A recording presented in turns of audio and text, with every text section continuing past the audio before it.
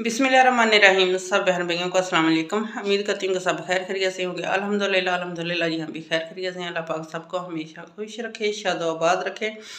और ढेरों खुशियाँ दे तो इसी के साथ करती हूँ ये आज की वीडियो शुरू। वीडियो शुरू करने से पहले सब बहन भाइयों से हमेशा की तरह मेरी रिक्वेस्ट है कि मेरी वीडियो को लाइक करना शेयर करना और मेरे चैनल को सब्सक्राइब करना। तो चलते हैं जी नेक्स्ट वीडियो की तरफ़। आज की वीडियो शुरू करते हैं। जिस तरह की मैं किचन में खड़ी हूँ, आज बहुत ही ज़्यादा सर्दी है ठंडी ठंडी हवा भी चल रही है तो बच्चे आ गए स्कूल से तो अभी शाम का टाइम हो रहा है। तो मैं तो घर में ही होती हूँ, लेकिन बच्चे जो स्कूल जाते हैं, इतनी ज़्यादा सर्दी होती है ना, इस दफ़ा तो। तो अभी किचन में खड़ी हूँ तो आज मैंने सब्ज़ी ली है तो जो लिया वो अपने बहन भाइयों के साथ शेयर करती हूँ। जी इस दफ़ा सर्दी में जो बीमार है, अल्लाह पाक उनको सेहत तंदरुस्ती वाली लंबी ज़िंदगी दे और जो परेशान अल्लाह पाक सबकी परेशानियाँ दूर करे। तो चलते हैं जी नेक्स्ट अपने काम की तरफ़ और अपना काम स्टार्ट करते हैं। रहमान रहीम जी। ये लहसुन, प्याज, टमाटर, मिर्चें, गोभी और आलू, ये धनिया थोड़ा सा पड़ा था ये तो अभी तेज़ की मैंने ले ली है। तो ये सारी चीज़ें जी फटाफट उसमें डाल के ना पकाती हूँ। ये ऊपर हूँ नरम हो जाए, हर चीज़। इसका पेस्ट बना लूँगी फिर। तो अभी ये सारी चीज़ें ऐड कर दी ऊपर से कवर करती हूँ।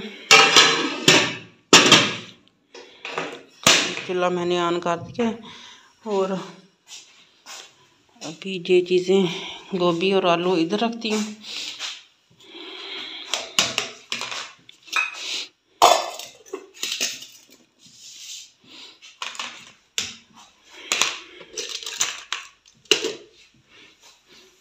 तो अभी मैं बाल्टी लेके चलती हूँ, आटा गूंद लेती हूँ, क्योंकि पानी नलके से गर्म निकाल के वो लेके आती हूँ, क्योंकि मोटर का पानी काफ़ी ठंडा है तो आटा सही तरह से गूंदती नहीं हूँ। ये मेथी मैंने काट के रख ली है कि किसी तरीके से सूख जाए, धूप ना निकलने की वजह से ये सूखने का नाम ही नहीं ले रही। तो अभी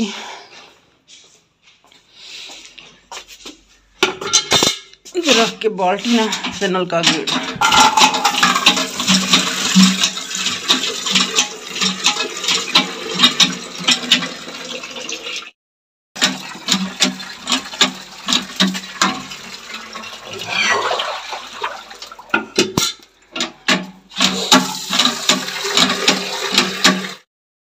रहीम जी, आटा मैंने गूंद लिया गूंद के उधर रख दिया। तो अभी लगी हूँ सालन देखने। अभी आँच तेज़ करती हूँ, थोड़ा सा चूल्हा तेज़ करती हूँ तो फटाफट की पेस्ट बन गई साथ में। जी, मेथी भी मुझे मिल गई, मेथी भी, गोभी में होगी तो काफ़ी मज़े की मेथी और धनिया। तो ये भी डाल के इसकी भी बनाई कर लेती हूँ साथ ही।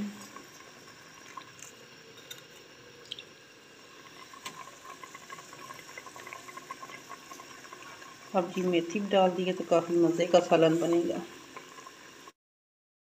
मेरा मन रही की पेस्ट बना लिया अभी पानी पेस्ट हो गया। थोड़ा बहुत बाद में होता रहेगा। तो अभी इसमें ऐड करना है घी। इसमें रहमान रही घी भी इतना ठंडा हो गया, ये भी नहीं डाला जा रहा। अभी इतना ही घी काफ़ी हो जाएगा तो अभी अच्छी तरह ये सारी चीज़ों की बुनाई करती हूँ।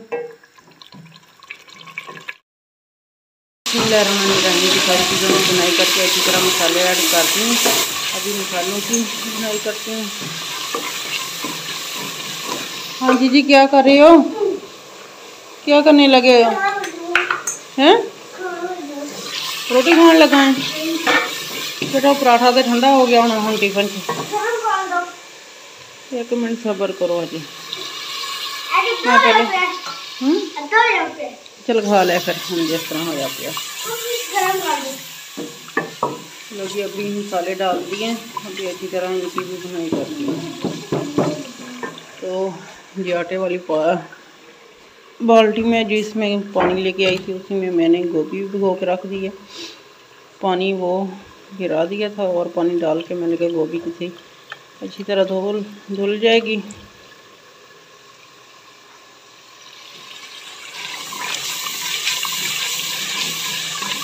नमक इधर है? रही जी, मसाले की बनाई अच्छी तरह होगी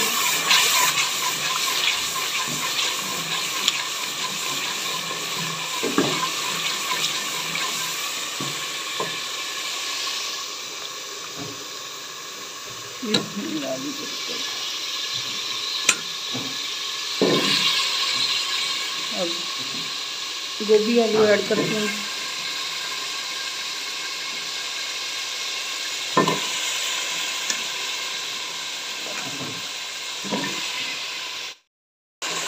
गोभी आलू को मिक्स करती हूँ तो अच्छी तरह गोभी आलू की भी बनाई करती हूँ।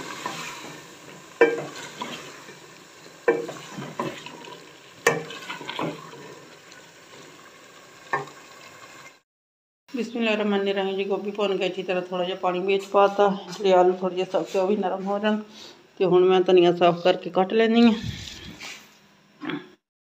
ਹੈ ਮੰਨੇ ਰਹੀਮ ਜੀ, ਧਨੀਆ ਵੀ ਕੱਟ ਲਿਆ। ਕੱਟ ਕੇ ਪਾਣੀ 'ਚ ਪਾ ਕੇ ਰੱਖ ਲਿਆ ਅਤੇ ਹੁਣ ਦੁੱਧ ਗਰਮ ਕਰ ਦਈਏ ਨਾਲ ਨਾਲ, ਇਹਦਾ ਯਾਦ ਹੀ ਨਹੀਂ ਸੀਗਾ ਅਤੇ ਵੀ ਯਾਦ ਆ ਗਿਆ, ਨਾਲ ਗਰਮ ਕਰਕੇ ਰੱਖ ਲੈਂਦੀ ਹਾਂ ਬੱਚਿਆਂ ਵਾਸਤੇ ਬਿਸਮਿਲ੍ਲਾਹਿਰਰਹਿਮਾਨ ਰਹੀਮ कैमरा हाथ अजय बंद करना पड़ेगा। रहमान रहीम जी जी, आलू गोभी का सालन तैयार हो चुका है। तो अभी मैंने डालना है धनिया। तो थोड़ी देर पहले ही डालूँगी, वरना अगर समीर कहता है, कच्चा कच्चा मुँह में आ रहा है।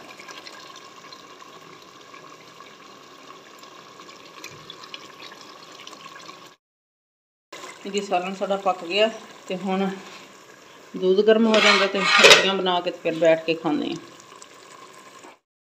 बिस्मिल्लाह रमानी रहीम जी, अभी नहाई हूँ, आज बुध। तो अभी नहा के कपड़े शपड़े चेंज किए, बाकी अपने कपड़े धो लिए, बाकी संडे को मशीन लगेगी तो फिर धुले जाएँगे। तो अभी बाकी काम सारा मैंने कर लिया, जो रहता अभी वो भी करती हूँ। जो कपड़े शपड़े अपने मैंने धो के डाले हैं, साफ़ सफ़ाई सारी कर ली है। सारे सभी कमरों की। तो अभी ये कमरा भी जी सारा साफ़ सुथरा कर लिया, जहाँ सोते हैं, क्योंकि ये फ़र्श भी आज साफ़ करने वाला था। ये फ़र्श भी सारा साफ़ किया है, जो परोली वगैरह थी वो लगाई है सारा। अभी ये सारी चीज़ें, ये कपड़े धोने वाले पड़े हैं, मैंने कहा मशीन लगा के धोऊँगी अभी सर्दी काफ़ी ज़्यादा लगनी शुरू हो गई थी तो इसलिए अभी जो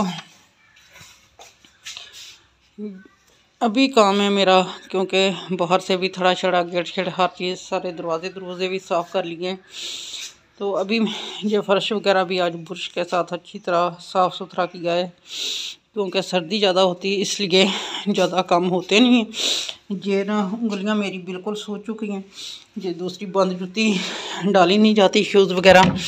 तो इसलिए अभी जो मैंने काम करना है, ये हम पंखा मेरी हम साइड लेके गई है, उसने दाने वगैरह साफ़ करने थे, जे का उधर से कपड़े उतारे। हैं तो अभी मेरा एक सूट रहता है प्रेस करने वाला, जे करने लगी थी तो वो लगी है पंखा। पंखा भी आता है तो जे कपड़े उठा के इधर से उधर रखती हूँ तो फिर जे वाली अपना सूट भी प्रेस कर लूँगी।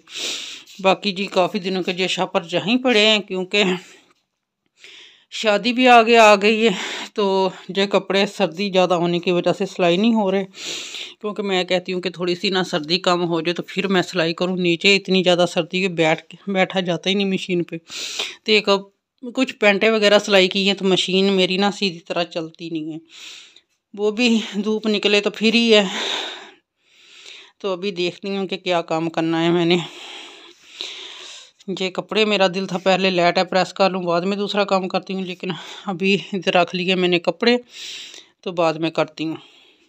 आज कुछ बातें मैंने अपने बहन भाइयों के साथ करनी थी। जिस बहन बहन है, जब भाई है, जिसने मैविश और आवाज़ के बारे में कमेंट्स भी किए हुए हैं, वो मैंने अभी डिलीट नहीं किए क्योंकि अम्मी जी के बारे में भी बातें की हुई हैं। क्योंकि इस तरह का जुल्म ना करो, वो ना करो, ये ना करो यार उनकी अपनी ज़िंदगी है, जिस तरह से भी जिए, ना जिए, हमें कोई लेना देना नहीं है। गाड़ी भी घर में खड़ी है, सभी की सभी की है। उसमें ना भाई प्याज का कोई दखल होता है जिस तरह, क्योंकि सर्दी का मौसम है, बहुत ज़्यादा सर्दी जिस तरह पड़ रही है तो इसलिए कोई जानवर बेजबान रखे हुए हैं। वो भी उनके अपने मैवश और आवाज़ के ही हैं। तो जो दूसरे हैं, भाई जुवेद ने रखे हुए हैं, अम्मी जी ने, अम्मी अबू ने जो भी रखे हुए हैं, दो चार जिस तरह भी है। तो बाकी उनकी अपनी ज़िंदगी मैं ना किसी के मामले में दखल अंदाजी करती हूँ या ना, नहीं करती। वो जिस तरह भी मेरी भाभियाँ और भाई ज़िंदगी अपनी गुजारनी चाहते हैं, वो गुजार सकते हैं। और दूसरी बात ये रहेगी अम्मी जी की, अम्मी जी एक तो उनको पका के खाने के लिए देती है। वो अपना अलहदा कहने के लिए अलहदा, लेकिन वो अम्मी के पास से ही खाती हैं।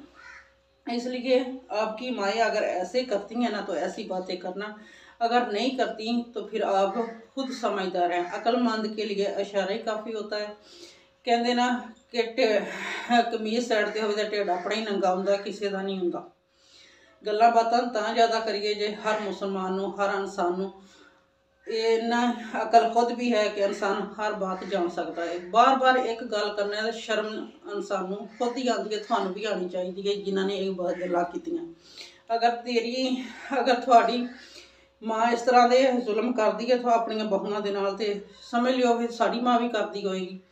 ਅਗਰ ਤੁਹਾਡੀਆਂ ਮਾਵਾਂ ਨਹੀਂ ਕਰਦੀਆਂ ਜ਼ੁਲਮ ਆਪਣੀਆਂ ਬਹੂਆਂ ਤੇ, ਕੌਣ ਕਹਿੰਦਾ ਕਿ ਮੇਰੇ ਬੇਟੇ ਦਾ ਘਰ ਬਰਬਾਦ ਹੋਵੇ ਜਾਂ ਨਾ ਹੋਵੇ? ਬਾਰ-ਬਾਰ ਤੁਹਾਨੂੰ ਇੱਕ ਹੀ ਗੱਲ ਦੱਸ ਕੇ, ਲੇਕਿਨ ਅਸੀਂ ਥੱਕ ਗਏ ਹਾਂ, ਲੇਕਿਨ ਤੁਹਾਨੂੰ ਸ਼ਰਮ ਨਹੀਂ ਆਈ। ਤੁਹਾਨੂੰ ਇੰਨਾ ਫ਼ਰਕ ਵੀ ਇਨਸਾਨ ਨੂੰ ਨਹੀਂ ਸਮਝ ਆਉਂਦਾ ਕਿ ਕੋਈ ਕੀ ਕਰ ਰਿਹਾ ਜਾਂ ਕੀ ਨਹੀਂ ਕਰ ਰਿਹਾ। ਕਿਸੇ ਨੂੰ ਕੋਈ ਕਮੈਂਟਸ ਕਰਨਾ, ਕਿਸੇ ਨੂੰ ਕੋਈ ਕਰਨਾ ਤੇ ਸੋਸ਼ਲ ਮੀਡੀਆ ਤੇ ਆੜੇ ਦਾ ਮਕਸਦ ਇਹ ਨਹੀਂ ਕਿ ਦੂਸਰੇ ਨੂੰ ਗਲਤ ਕਮੈਂਟਸ ਕਰੀ ਜਾਓ, ਦੂਸਰੇ ਬਰਦਾਸ਼ਤ ਕਰੀ ਜਾਣ, ਲੇਕਿਨ ਹਰ ਇਨਸਾਨ ਦੀ ਇੱਕ ਲਿਮਟ ਹੁੰਦੀ ਹੈ ਕਿ ਜਿਸ ਤਰ੍ਹਾਂ ਹਰ ਇਨਸਾਨ ਨੂੰ ਮੈਂ ਆਪਣੀ ਜ਼ਿੰਦਗੀ 'ਚ ਕਿਸੇ ਦਾ ਦਖਲ ਅੰਦਾਜ਼ ਬਰਦਾਸ਼ਤ ਨਹੀਂ ਕਰਦੀ, ਤੇ ਦੂਸਰਿਆਂ ਦੀ ਵੀ ਦਖਲ ਅੰਦਾਜ਼ੀ ਮੈਨੂੰ ਨਹੀਂ ਕਰਨੀ ਚਾਹੀਦੀ। ਤੇ ਇਸ ਲਈ ਉਹਨਾਂ ਦੀ ਆਪਣੀ ਜ਼ਿੰਦਗੀ ਹੈ, ਜਿਸ ਤਰ੍ਹਾਂ ਭਾਵੇਂ ਕਾਰ ਤੇ ਜਾਣ, ਭਾਵੇਂ ਬੱਸ ਤੇ ਜਾਣ, ਭਾਵੇਂ ਜਿਹੜੀ ਚੀਜ਼ ਤੇ ਮੋਟਰਸਾਈਕਲ ਤੇ ਵੀ ਜਾਣ, ਮੈਨੂੰ ਕੋਈ ਤਕਲੀਫ ਨਹੀਂ ਹੈ। ਜਿਸ ਤਰ੍ਹਾਂ ਦੀ ਕਿਸੇ ਦੀ ਜ਼ਿੰਦਗੀ ਹੈ, ਜਿਸ ਤਰ੍ਹਾਂ ਦਾ ਕੋਈ ਕਰਨਾ ਚਾਹੁੰਦਾ, ਕੋਈ ਕਰ ਸਕਦਾ। ਬਾਰ-ਬਾਰ ਇਹ ਵੀ ਤੁਹਾਡੀ ਮਾਂ ਨੇ ਜ਼ੁਲਮ ਕੀਤਾ, ਤੁਹਾਡੇ ਪਿਓ ਨੇ ਕੀਤਾ, ਤੁਹਾਡੀ ਭੈਣ ਨੇ ਕੀਤਾ ਤੇ ਜੇ ਕਰਦੇ, ਉਹ ਕਰਦੇ, ਤੇ ਤੁਹਾਡੇ, ਤੁਸੀਂ ਆਪਣੇ ਭੈਣਾ ਭਰਾਵਾਂ ਦੇ ਨਾਲ ਇਹ ਕਰਦੇ ਹੋਗੇ ਤੇ ਫਿਰ ਦੂਸਰੇ ਵੀ ਕਰ ਲੈਂਦੇ ਹੋਣਗੇ, ਫਿਰ ਦੂਸਰਿਆਂ ਦੀ ਤੁਹਾਨੂੰ ਕਾਹਦੀ ਤਕਲੀਫ ਹੈ ਸਾਡੀ ਤੇ ਜਿਸ ਤਰ੍ਹਾਂ ਦੀ ਮਰਜ਼ੀ ਅਸੀਂ ਆਪਣੀ ਜ਼ਿੰਦਗੀ ਗੁਜ਼ਾਰੀਏ, ਤੇ ਬਾਕੀ ਮੈਂ ਵੀ ਸ਼ਾਬਾਸ਼ ਦੀ ਆਪਣੀ ਹੈ, ਜਵੇਦ ਆਸੀਆ ਦੀ ਆਪਣੀ ਹੈ, ਫਿਆਜ਼ ਦੀ ਆਪਣੀ ਹੈ, ਅੰਮੀ ਜੀ, ਅਬੂ ਜੀ ਦੀ ਆਪਣੀ ਲੇਕਿਨ ਇਸ ਉਮਰ ਵਿੱਚ ਉਹਨਾਂ ਨੂੰ ਚਾਹੀਦਾ ਬੈਠ ਕੇ ਖਾਣਾ। ਲੇਕਿਨ ਉਹ ਫਿਰ ਵੀ ਅੰਮੀ ਜੀ 24 ਘੰਟੇ ਕੰਮ ਕਰਕੇ ਪਕਾ ਕੇ ਦਿੰਦੀ ਹੈ ਲੇਕਿਨ ਉਹ ਵੀ ਪਕਾ ਕੇ ਖਾਣ, ਆਪਣਾ, ਆਪਣੀ ਹਾਂਡੀ ਜੋ ਖਾਣ, ਜਿਸ ਤਰ੍ਹਾਂ ਮਰਜ਼ੀ ਖਾਣ, ਨਾ ਖਾਣ, ਉਹ ਉਹਨਾਂ ਦੀ ਮਰਜ਼ੀ ਹੈ ਮਾਂ ਬੇਟਿਆਂ ਦਾ ਮਸਲਾ, ਬਹੂਆਂ ਦਾ, ਸੱਸ ਦਾ ਮਸਲਾ ਤੁਹਾਨੂੰ ਕੋਈ ਤਕਲੀਫ ਨਹੀਂ ਹੋਣੀ ਚਾਹੀਦੀ ਕਿਸੇ ਤਰ੍ਹਾਂ ਦੀ। ਕਿ ਕੀ ਕਰ ਰਿਹਾ ਜਾਂ ਕੀ ਨਹੀਂ ਕਰ ਰਿਹਾ। ਤੇ ਇਹਦੇ ਨਾਲ ਹੀ ਹਰ ਕਿਸੇ ਦੀ ਆਪਣੀ ਜ਼ਿੰਦਗੀ ਮੇਰੇ ਹੁਣ ਮੇਰੀ ਸੱਸ ਰਹਿੰਦੀ ਹੈ। ਆਪਣੇ ਦੂਸਰੇ ਬੇਟਿਆਂ ਨਾਲ, ਕਿਉਂਕਿ ਇੱਕ ਭਾਈ ਦੀ ਬੀਬੀ ਫੋਤ ਹੋ ਗਈ ਹੈ, ਉਹਦੀਆਂ ਦੋ ਬੱਚੀਆਂ ਉਹਨਾਂ ਦੇ ਨਾਲ ਉਹ ਰਹਿੰਦੀ ਹੈ। ਕਿਸੇ ਨੂੰ ਕੋਈ ਮਸ਼ਵਰਾ ਦੇਣਾ, ਕਿਸੇ ਨੂੰ ਕੋਈ ਨਾ ਦੇਣਾ, ਵੀ ਉਹਨਾਂ ਦੀਆਂ ਸੱਸਾਂ ਕਿਹੜਾ ਉਹਨਾਂ ਕੋਲ ਰਹਿੰਦੀਆਂ ਹੈ। ਸਾਰੀ ਜਿੱਥੇ ਵੀ ਰਹੇ, ਉਹਨਾਂ ਨੂੰ ਅਲਹਮਦੁਲਿਲਾ ਪਕਾ ਕੇ ਲੱਭਦਾ ਪਿਆ ਖਾਂਦੇ ਪਏ ਤੁਹਾਡੇ ਕੋਲ ਨਹੀਂ ਕੋਈ ਵੀ ਖਾਣਾ ਦਾ ਪਕਾ ਕੇ ਦਿੱਤਾ ਹੋਇਆ, ਨਾ ਤੁਸੀਂ ਪਕਾ ਕੇ ਕਿਸੇ ਨੂੰ ਦੇਣਾ ਹੀ। ਤੇ ਜਿਸ ਤਰ੍ਹਾਂ ਮਰਜ਼ੀ ਹਰ ਇਨਸਾਨ ਦੀ ਆਪਣੀ ਜ਼ਿੰਦਗੀ ਕੋ ਕਰ ਸਕਦਾ, ਨਹੀਂ ਕਰ ਸਕਦਾ ਜੀ। ਤੇ ਇਸ ਬਾਰ-ਬਾਰ ਸਾਨੂੰ ਇਸ ਤਰ੍ਹਾਂ ਦੇ ਕਮੈਂਟਸ ਮੈਨੂੰ ਕਰਨੇ ਦੀ ਜ਼ਰੂਰਤ ਨਹੀਂ ਹੈ। ਤੇ ਇਹਦੇ ਨਾਲ ਹੀ ਅੱਲਾ ਹਾਫਿਜ਼। ਬੜੀਆਂ ਗੱਲਾਂ ਹੋ ਗਈਆਂ, ਇਹਦੇ ਨਾਲ ਭੈਣ ਭਾਈਆਂ ਕੋਈ ਇਜਾਜ਼ਤ ਲੈਂਦੀਆਂ ਅੱਲਾ ਹਾਫਿਜ਼।